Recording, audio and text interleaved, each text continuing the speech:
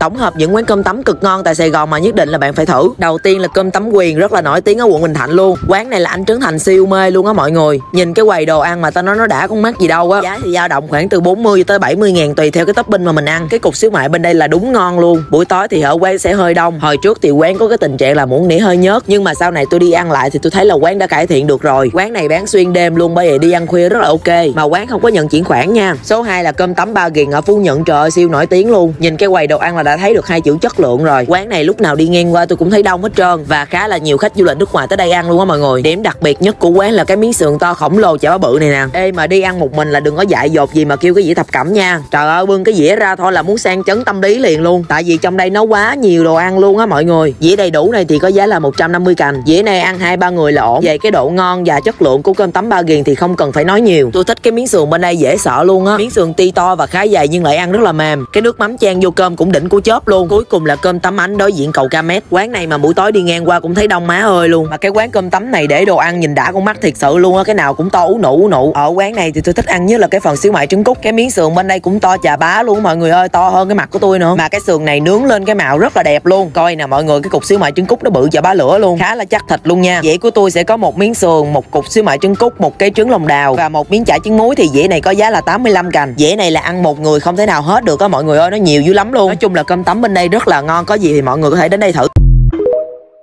Một dĩa cơm tấm sườn bị chả bao nhiêu calo?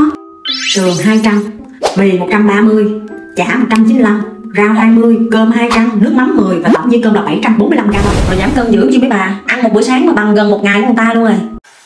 Cầm tâm bị sương cha cầm tâm bị sương cha yeah Cầm tâm bị sương cha cầm tâm bị sương cha That means you're my everything That means like cầm tâm bị sương cha